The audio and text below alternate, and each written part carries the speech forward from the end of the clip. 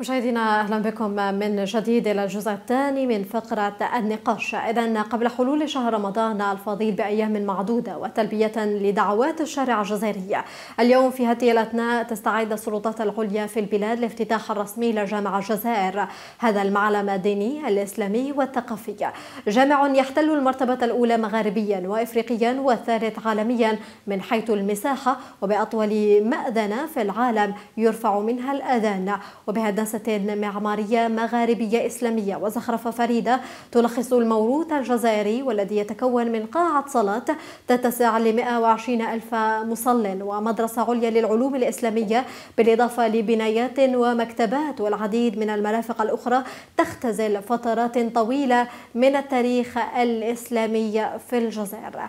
مشاهدينا للحديث أكثر حول هذا الموضوع نواصل نقاشنا. رفقة الدكتور أحمد إبراهيمي رئيس جمعية البر البركة آه، أهلا بك من جديد آه، دكتور.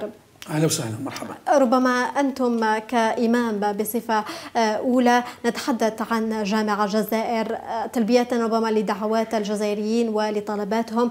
الجزائريون كانوا ينتظرون بحرقة افتتاح هذا المسجد أكبر مسجد في في المنطقة المغاربيه وفي إفريقيا والثالث عالميا نعم كما وصفت أنت يعني الجزائريين يهتمون بالمساجد ويهتمون بخدمة بيوت الله سبحانه وتعالى فما بالك بمسجد بهذه بهذا الحجم وبهذا الكبر وبهذا هذه ليست ليس مسجد فقط لقاعة للصلاة أو إنما نعم.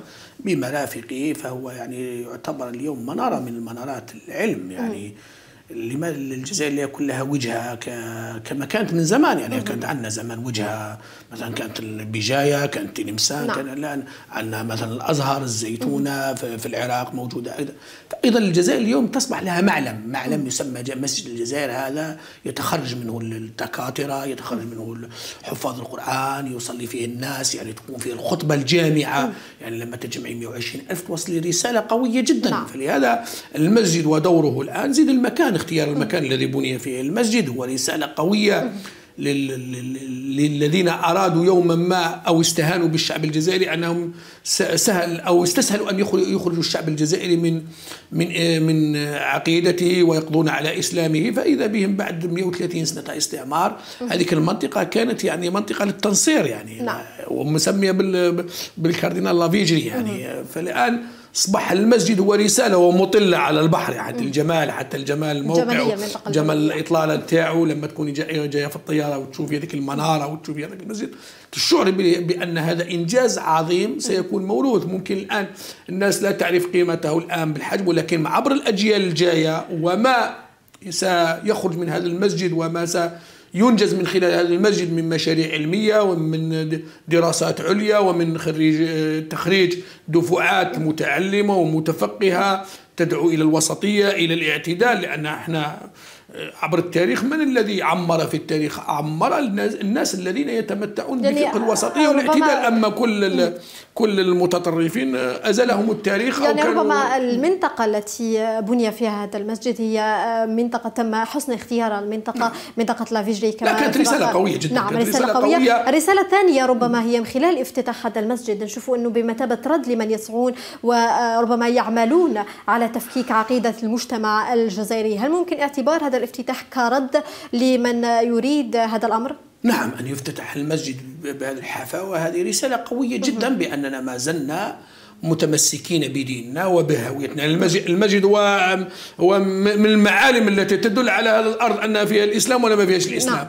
والأذان هو الذي يعني. يبين لك هل الناس على دين الله وكانوا يعني كانوا بكر الفاتحين كي يعني يستشكل عليهم. الشيء يقولوا خلينا نستنى الفجر. إذا سمعنا الأذان هذو مسلمين. إذا ما سمعناش الأذان معناتها مش مسلمين. معناتها إحنا هذا معلم يحدد الهوية تاع الجزائر يرمز إلى ان أننا ما زلنا متمسكين بديننا ما زلنا متمسكين بوسطيتنا باعتدالنا بأننا نحن جزء من هذه الأمة. يعني كثير من الناس كثير من الناس في في لحظة من اللحظات قالوا الجزائر خرجت من الأمة. يعني نعم. 20 130 سنة ولا 132 سنة تاع استعمار كل الناس قالوا بلي الجزائر انتهت خلاص الجزائر أصبحت مسيحية وفرنسية وما إلى ذلك. اليوم يعني تم تكذيب كل هذه الأقاويل. كل كل هذه الإنجازات وهذه العظمه وكل المساجد اللي بنيت في الجزائر كلها تصب في هذا المنحى الذي قصدته أنت بكلامك. طيب ربما نحكيه على توقيت ربما افتتاح هذا المسجد، نحن اليوم في الجزء الثاني من شهر شعبان. هذا في الجزء الذي في في الجزء الذي حولت فيه الكعبة يعني نعم. حولت فيه القبلة يعني. القبلة إلى نعم يعني كانت في منتصف شعبان تحويل القبلة يعني. نعم. إيه. أيضا وعلى مقربه من رمضان. نعم. يعني هذه في شهر شعبان وشهر عظيم. ذلك يعني شهر يغفل عنه الناس كما قال النبي صلى الله عليه وسلم. يعني أنك اليوم تجسد هذا العمل وتعطي انطلاقا للعمل في شهر كما هذا. وإحنا مقدمين على في ليلة القرآن. كهذه. مقدمين مهدمين على شهر شهر القرآن. يعني هذه إن شاء الله يكون عمل مبارك وعمل له قيمته وعمل يرسل دائما الرسائل. دائما هي دائما إحنا دائما نفكروا في الرسائل اللي ترسل إلى الناس. نعم. من قبل وش قلت لك قلت لك غزة علمت الناس. الناس اليوم تدخل للإسلام بسبب أقوال وأفعال أهل غزة. يعني الناس ما الناس قال لك هذه في التمثيل وما تكونش. ما واحد يخرج من تحت الركام فقد 80 واحد من عائلته ويقول له ربي هل رضيت؟ الحمد لله. الحمد لله. آه اللهم خذ من دمائنا حتى ترضى. كلام جعل جعل الناس في الغرب في الغرب مش من ملتنا. خلينا قالوا إحنا نطلعوا إيماننا ونقوي إيماننا لأن إحنا مؤمنين في الأساس. لا الناس كانوا خارجين الدين خارجين الدين يعني بعاد عن الدين. لما شافوا هذا الصمود والثبات قال لك لازم نبحث على هذه الهمة من جهة هذه الهمة من جهة هذه القوة من جهة الثبات. فلجأوا إلى القرآن فكان هذا سببهم في دخول الإسلام. نعم. أيضا أنت لما تديري معلم كما هذا ويبدأ هذا المعلم يبين الصورة الحقيقية تاع المجتمع نتاعك باللي متماسك. خاصة ربما مكانة المعلم آه، المكان الجغرافي وأيضا أنه تكون في كل مناطق جاي من خارج العاصمة متجه إلى قلب العاصمة تشوفوا سواء من الشرق في كل من مكان من كل مكان من الطائرة من نعم. كل مكان. ولكن زيد الأثر نتاعو لما غدا يجتمع لك 120 ألف الصورة هذه. لصلاة التراويح للصلوات الأربعة. أو جمعة أو الصلوات ما قاعدة تكون ويولي منارة. نستقبل فيها العلماء اللي يجونا نعم. إحنا يعني في يوم من الأيام ما كانش عندنا معلم عندنا لما يجونا علماء كبار ولا يجونا مثلا يعني اليوم حتى, حتى رؤساء حتى رؤساء دول وحتى ملوك وأمراء. لما يجي وتديه أنت للمسجد هذاك معناه أنت تقول له بأنني أنا متمسك بهويتي. نعم. بديني مهما كانت الضربات مهما كانت المشاريع نتاعكم مهما كانت آه، ما تفعلونه مهما كان مكركم يعني اليوم فنحن ثابتون على هذه الأرض اليوم نشوفوا في من خلال هذا الافتتاح الذي سيكون بعد ربما ساعة وأقل من ساعة نشوفوا أنه كان هناك حضور للعديد من الأئمة العديد من العلماء الإسلاميين سيشرفون على هذا الافتتاح أيضا. نعم هذا شهود. نعم. هذا سيكونون شهود على هذا الفعل الصالح على هذا العمل الصالح وهو تدشين بيت من بيوت الله يرفع فيها ذكر الله واسم الله ويتلى فيها القرآن ويوحد فيها الله ويخرج منها العلم ويخرج منها العلماء ويمكن لديننا عن طريق الوسطية والاعتدال والفقه نعم. السليم الذي يحافظ على تماسك الأمة ويحافظ على اللحمة لحمة الأمة. كل هذه الرسائل ستخرج من هذا المسجد. يعني ممكن الناس يقول لك لا مسجد كبير والأطلال وما الأطلال. لا لا لا ولكن إحنا ما بنيناش المسجد لينا. مش لهذا الجيل. الجيل يؤدي دوره الآن مثلا اللي بنا اللي كي بناو مثلا الأزهار وبناو الزيتونه وبناو ممكن الوقت اللي بناو ما ادى ما في الوقت اللي تبناو ما أدوش الرسالة الصحيحة. نعم. بصح لو كان تحس عبر الأجيال واش خرج الازهر واش خرج الزيتونه واش خرج أغلب العلماء كانوا واش خرج المسجد الاقصى المسجد الاقصى اللي كتشوف فيه اليوم راهو أطلال. هذا كانوا خرج علماء كبار. نعم. كبار كانوا في جنباته وفي آه، في زواياه وحافظوا القرآن والفقه وأصل يعني فقط و... فقط الأسبوع الماضي كانت خروج أول طبعة للدكتوراه من ذلك المسجد مختصين في الشريعة الإسلامية. ربما مثل هكذا نشوف أنه المسجد ليس اليوم فقط من أجل العبادة هو أيضا من أجل العلم من أجل الدراسة هي فيها مكتبة لا هو, فيها هو الرسالة يعني كي نقولوا من أجل العبادة العبادة هي علم كل شيء يعني. نعم. لاجل الصلاة. تحت سقف العبادة يجي كل شيء ولكن الآن كاينة واحدة الصورة واحدة من الصورة النمطية خذيناها إحنا من قبل أن المسجد صلي وسكر الباب نعم. ودرتوا لنا مسجد كبير وحنا وحنا نصلوا في المسجد تاعنا خسرتوا الدراهم مثلا هذا الكلمة بصح لما يعرف الإنسان باللي هذا المسجد فيه جامعة جامعة تخرج العلماء. نعم. فيه مكتبات فيه ما شاء الله عندنا علماء في الجزائر يعني.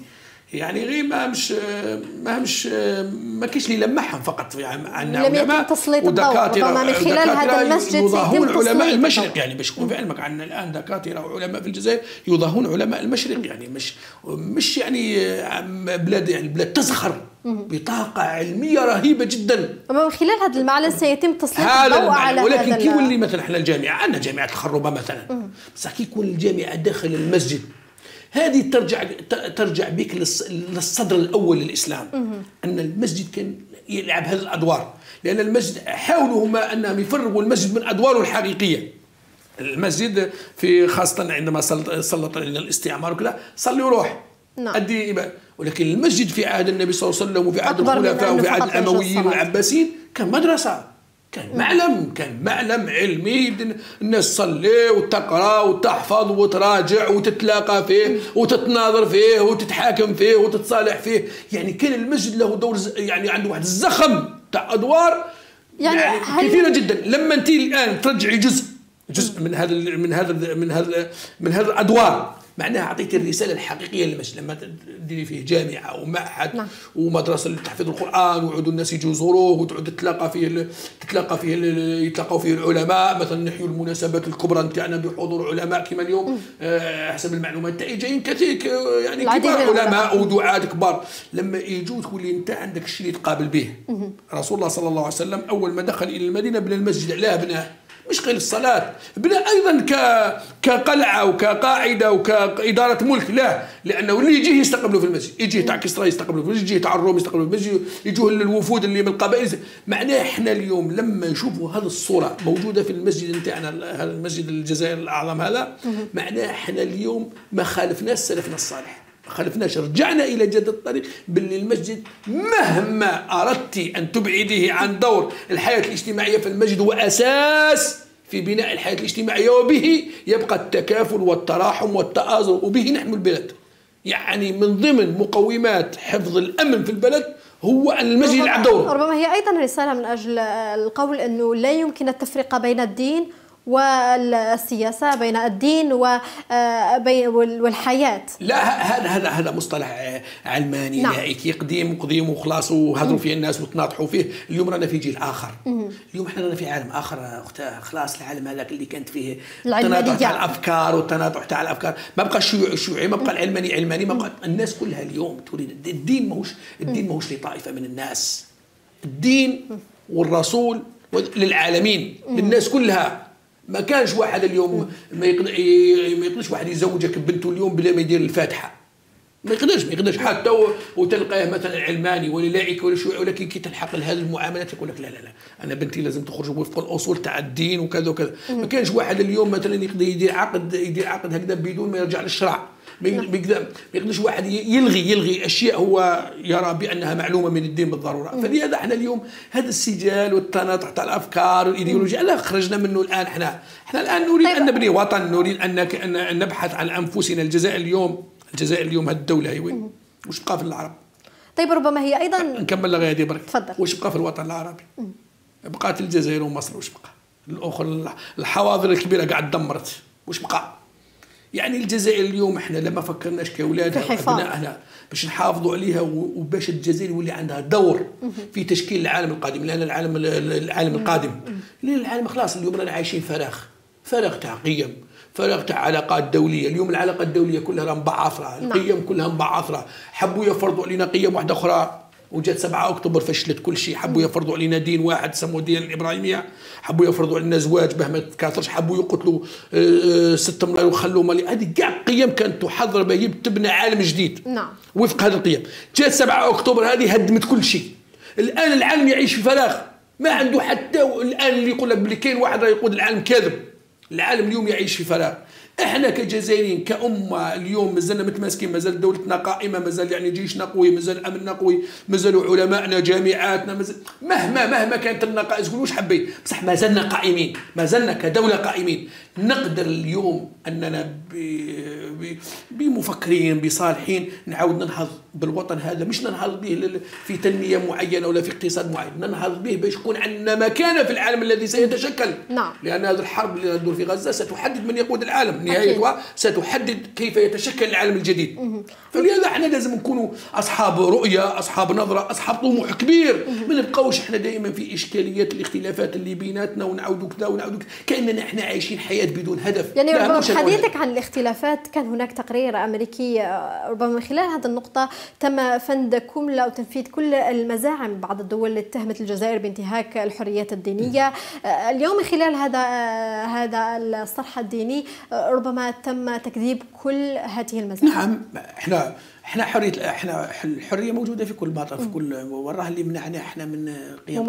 وراه اللي منعنا قلنا نصلي بالذراع ولا ما تصليش ولا ما تروحش كنيستك وين هذا؟ ما أنا ما شفتهاش هذا الشيء ما شفتوش أنا مش لست أنا عرابا لاحد ولكن وعلاه هذول اللي يتهمونا باللي إحنا رانا ضد حرية الاديان ولا ما تهموش الكيان الصهيوني اللي قاعد يقصف في المساجد والناس قاعد يشوفوا فيه. ومش قاعد المسجد يقصر حتى الكنائس. يعني هو يقتل الناس داخل الجامع يصلوا. ويقصد في الكنيسة تاع المعمدان هذيك اللي نعم. موجودة في غزة أقدم كنيسة في, في, في الوجود. هذو كاع ما شافوهمش. وقتل المسلمين في الروهينجا وتصفيتهم في البوسنة نعم. وقتلهم في إفريقيا الوسطى وذبحهم في كل مكان. وتدمير العراق وتدمير ليبيا وتدمير سوريا. هذا كاع ماشي كاع ما شوف ومن بعد يجي واحد يقول لي أنا ما فهمتش هذا وراه لي منعنا إحنا؟ أنا نعرف الكنيسة اللي في وسط الجزائر أنا والسمو هذه هذه اللي في قلب العاصمة. نعم. مفتوحة الناس يجوا يصلوا عادي فيها. عمرنا إحنا إحنا ما عندناش مشكلة مع الأديان. وهذه دائما نشرحها للناس. يا ناس إحنا ماناش نحاربوا في المسيحيين لأننا مسيحيين ولا نحاربوا في اليهود لأن يهود. إحنا نحاربوا في اليهود لأنهم ظلمونا. نعم. ادوا لنا أرضنا ادوا لنا مسجدنا راهم يقتلوا في شعبنا. أما اليهود اللي عبر العالم. أنا كنت في مؤتمر قبل قبل شهرين في قبل شهر في إسطنبول. حاضروا معايا زوج يهود. هذول اليهود اللي حضروا معنا في المؤتمر هذول اللي اعداء اللي أعداء للكيان الصهيوني هذول ضد هذول ضد التأسيس الدولة. ما كاينش واحد سبب. طيب بالعكس لقاو الحفاوة والناس تتصور معاهم ويتناولوا معنا الطعام. يا خويا يهودي واش دخلني فيه أنا؟ طيب أنا لست بالمقابل لهذه هذه الحرية حرية ممارسة الدين في كل المناطق هنا في الجزائر. هل سيكون هناك مشكلة في الهوية الجزائرية في المستقبل ربما؟ ما إحنا إحنا إحنا إحنا لازم إحنا نصمد.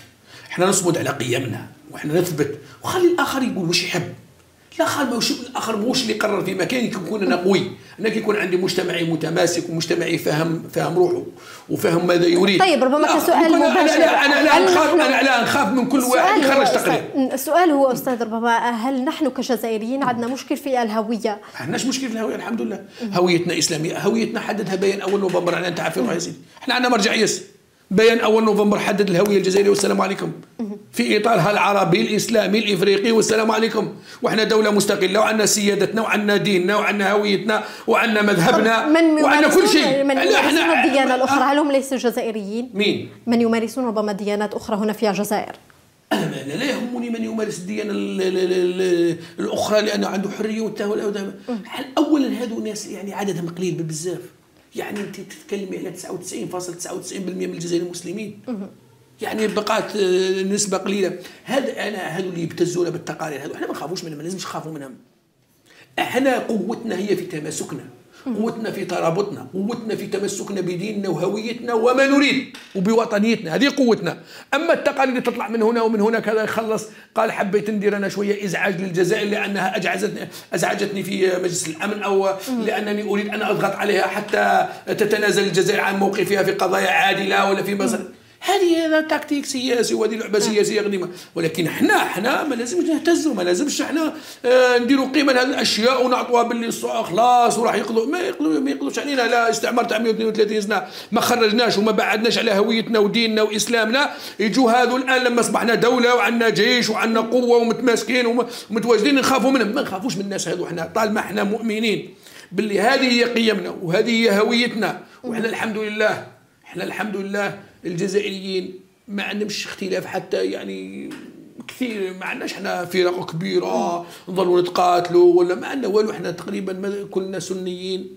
كنا على مذهب الإمام مالك رحمة الله عليه كنا طيب ربما تقريبا جملتنا نقرأ حتى القرآن نقرأه برواية ورش يعني. نعم طيب ربما من أجل الحفاظ على هذا التماسك اليوم في ظل ربما انتشار الأفكار المتطرفة وربما الغريبه عن الجزائر اليوم كيف ممكن أن نحافظ على المذهب المالكي كما قلت قبل لا المذهب المالكي هو مدرسة كبيرة.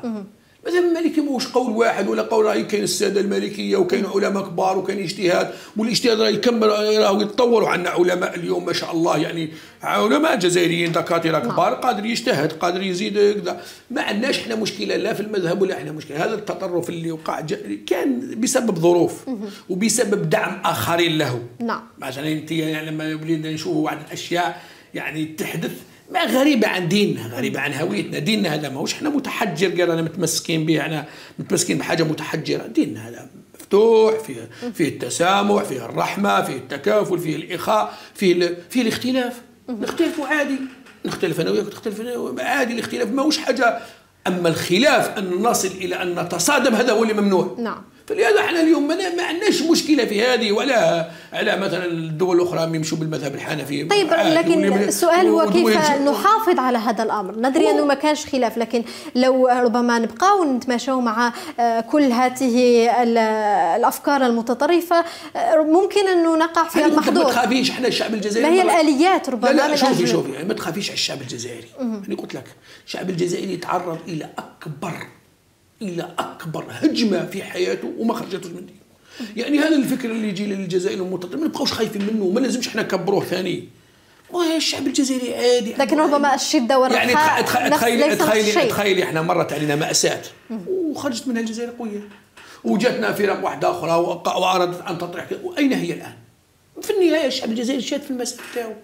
أنا ما نبقاش مثلا كي يظهر واحد ولا اثنين نروح نكبر به ونرجع كل الشعب الجزائري كل راه مور هذاك مرشد لا الشعب الجزائري كله. الشعب الجزائري كله الآن يروح يصلي وعادي وصلاته عادية ويستفتي الأئمة والأئمة تاعنا واقفين في مساجدهم. الحمد نعم. لله. يعني تقريبا شكون اللي حمى الجزائر؟ حماها المسجد وحماها الأئمة بخطابهم المعتدل والوسطي. أنا راني إمام عندي 30 سنة. وعشت هذه المراحل كلها وشفت الأئمة واش كانوا يدوا زملائي واش كنا نأدوا فوق المنبر والروس الطير. وكنا ما غيرنا لا في خطابنا ما ما جنحنا للتطرف ما جنحنا لقتل الناس بل بالعكس دعونا الناس إلى الوسطية ودعونا الناس إلى الاعتدال ودعونا الناس إلى أن ديننا يقبل الغير ويقبل الاختلاف ويقبل كذا. كل هذه القيم كنا نطرحها فلهذا ما نبقاوش إحنا كل ما تظهر الظاهرة نخافوا منها. لا لا لا الشعب الجزائري محصن. محصن منذ الأزل مش من اليوم من نهار يبدأ من اللي جا الإسلام. حباك ملي الجزائر دخلت الإسلام في القرن الأول ولا ما بالكش؟ إحنا دخلنا الإسلام في عصر الصحابة. مش طيب. قال الإسلام جانا في في القرن الثاني الهجري ولا الثالث. إحنا دخلنا للإسلام والصحابة قائمين والخلافة قائمة. دخلنا في في أحسن العصور اللي هو الخلافة الراشدة. مش من يوم إحنا قال الإسلام هذا وصلنا رانا 14 قرن. الإسلام هنا ما قدر حتى واحد يمحيه ومش مر على الجزائر. يجي ذوك الآن يظهرون بعض الحركات من هنا. أنا ما أنا ما أنا, ما أنا مش بالنظرة هذه. طيب ممكن واحد ربما ممكن واحد امني ممكن واحد أمني يشوف ممكن الأمن يشوف الأمور هذه. بصح أنا كداعية نعم. وكإمام وأعرف قوة الدين وقوة الإسلام، الإسلام اليوم راه يزحف على الغرب. طيب فقط الإسلام اليوم سيدتي راه يزحف على نعم. الغرب. طيب كسؤال أخير فقط أستاذ أحمد ربما اليوم نتحدث عن جامعه الجزائر هذا الصرح الذهني الكبير. نتحدث عن مرافق كبيرة نتحدث عن مكتبات نتحدث عن جامعة داخل المسجد. السؤال هو كيف ممكن أن يحافظ هذا الصرح بكل ربما مكوناته الداخلية؟ كيف ممكن انه اليوم يساهم في غرس القيم داخل ربما الجيل القادم والجيل الصغير اليوم. هذا المسجد الآن له مرجعيته. هذا المسجد راح تصيروا دولة مش حي... مش حتصيروا طائفة ولا تصيروا نعم. مجموعة ولا تصيروا آه، جمعية راح تصيروا دولة. الدولة لها مرجعيتها. لها برنامج وكاين برنامج كاين كذا. يبقى يبقى مع مر الزمن يتطور البرنامج هذا. إحنا أنا قلت لك قبل. هذا مش مجرد قاعة للصلاة يلتقي فيها الناس في الظهر والعصر ولا في الجمعة ويروح. نعم. لا يعني قلنا باللي فيه الداخل مرافق التعليم مرافق للصلح مرافق لاستقبال الناس الغير الغير مسلمين يعني هم يجوا عسى يروحوا يزوروا المسجد. ممكن الناس ممكن يستنكروا هذا ولكن لا ما تستنكروش. لا كانوا الناس يجوا في عهد رسول الله صلى الله عليه وسلم ويدخلون إلى المسجد وهو جالس داخل المسجد وهم كفار. وجوهم الفرس ومن الروم وكذا. إحنا كي يجي رئيس اي دوله ولا ملك ولا أمير إحنا مبينوا له هذه لما زيارته هو يفهمها رسالة سياسية نفسيه يفهمها باللي أنت اليوم بينت له توجهك أنت في هذا العالم. باللي أنت مسلم. أنا ما رحتش بنيت كنيسة كبيرة ولا بنيت بيعة تاع كبيرة ولا بنيت بوذا كبير. أنا بنيت مسجد. أنا درت منارة. عندما عندما أراها أتذكر لا إله إلا الله محمد رسول الله. طيب فقط قبل أن نختم كسؤال حقيقة الأخير ربما الجزائر مثلها مثل ربما العديد من الدول العربية في بعض الأحيان نشوف ظهور بعض الطوائف الجديده والطائفيه الجديدة، لكن الجزائر على غرار بقيه الدول أو على خلاف بقيه الدول الجزائر دائما ما تكون أو تتمتع بتلك الهدوء في المعاملة تجاه هذا الأمر، ربما أين ما هو السر في هذا؟ السر في هذا لأن لأنهم لا يخشون من شعبهم انهم على الشعب الجزائري هذا مش شعب هين اللي يجي يلعب به. أنا هذه دائما كنت نقولها في خطبي نقول الشعب الجزائري ليس كل ما ياتيه أي فكرة تجيه من برا تديه. ما لازمش إحنا نبقاو دائما في الخوف. إحنا مشكلتنا مشكلتنا دائما حتى اولادنا في الدار نعلموهم كيف يخاف. قال ما تمشيش مع فلان يفسدك ما تروحش ليه ما تروحش للمكان كذا. لماذا لا أعلم ابني الاقتحام باللي تالي تاثر في الآخرين؟ علاه دائما إحنا نخافوا من الناس يأثروا فينا. علاه ما نكونوش إحنا الذين نؤثر في هذا الناس. يعني هذا يجي من أطراف الدنيا يجيب فكرة من أطراف الدنيا. ياثر فيا وأنا ابن البلد وابن هذا الوطن وابن هذه التضحيات وابن هذه القيم وكذا. نخاف من الآخر جاي ما لازمش نخاف من الآخر لا. لازم نتعلموا لازم نبدلوا لازم نبدلوا في الآلية باللي إحنا الذين نؤثر. مش إحنا نبقاو خايفين خايفين خايفين. باللي يجي يتبدلنا شكون إحنا رانا في سوق تاع تاع غنم اللي يجي يقودنا لأي. زريبة. لا ما لازمش التفكير هذا. التفكير هذا خطأ خطأ على طول الخط. ان نبقى نفكر دائما خايفين من, أفكار اللي جينا من برا واللي لا. إحنا عندنا مرجعيتنا عندنا رجالنا عندنا علمائنا عندنا علمائنا. لا لاش نبقى نفتخر بعلماء واحد آخرين؟ أيوه يجوز لي أن أفتخر بعلماء واحد آخرين ولا نستدعي علماء واحد آخرين. ولكن لا ما عندناش علماء في بلادنا. أكيد يعني أكيد. أنا في بعض الأحيان والله غير سمحيني نعقب على هذه. في بعض الأحيان نكون نمشي ندير ندير قناة القرآن الكريم ولا إذاعة القرآن الكريم ولا ناس تسأل تسأل تسأل في واحد في, في, في تسأل في واحد في, في أحكام الوضوء في أحكام آه، الشيخ تخلى تصلي نقول لي بالله عليك أنت ما عندكش مسجد؟ ما عندكش إمام تم في المسجد في هذاك الحومة اللي ساكن فيها؟ خلي هذا المفتي اللي راهو في القناة يفتي في حوايج كبار نعم. يفتي في أمور تاع اجتهاد يفتي جايب أنت أمور بسيطة اللي أي إمام في مسجد يجاوبك عليها. فعل المسجد نتاعك. هذا المواطن لازم يلعب دوره في هذا نفعلوا إحنا المساجد تاعنا أنا باش نروح نسأل واحد قالوا والله البارح ما صليتش الشفع والوتر كيف نقضيهم ولا كيف؟ يا أخي عندك إمام يا أخي وش يخدم الإمام اللي عندك في حومتك خلي هذاك التواصل خلي هذاك الأمور. إحنا من خلالنا إحنا راه المسجد راه فيه الصلح راه فيه عقد الزواج الإمام راه له دور كبير راه محترم. وإحنا الجزائر يعني مهما كان مهما كان قولي واش حبيتي بس إحنا نمشي في أكيد نحن نتمنى الجزائر فيها حرية. أكيد فيها حرية في هذه الأمور. المواطن الجزائري. إحنا ماناش مقيدين في كان أنا إمام عندي 30 سنة. عندي 30 سنة واليوم نقولها أمام الكاميرا. أنا في حياتي الدولة ما فرضتش عليا خطبة معينة. نخطب واش نحب؟ ونقول واش نحب؟ وندرس واش نحب؟ وفق المرجعية وفق أكيد. أكيد فلهذا هذه الحرية وهذا الخير اللي رانا فيه. نروحوا نشتغلوا نروحوا نخدموا. ما نظلوش نظلوا نوصفوا ونظلوا قال وقلت ونظلوا نخرجوا في السلبيات. خلينا الناس يكونوا إيجابيين. إحنا خلينا نكونوا إيجابيين. مرة في حياتنا نكونوا إيجابيين. ونستغل الفرص الموجودة. علاه إحنا ما نستغلش الفرص الموجودة اللي عندنا. ونروحوا دائما نحكي الموقع السلبيه أكيد هذا هذا ما نتمناه أستاذ أحمد ابراهيمي رئيس جمعية البركة. شكرا لك على حضورك معنا اليوم. إذا مشاهدينا إلى هنا نصل وإياكم إلى ختام الجزء الثاني من فقرة النقاش ضمن غرفة الأخبار التي تبقى متواصلة بعد الفاصل.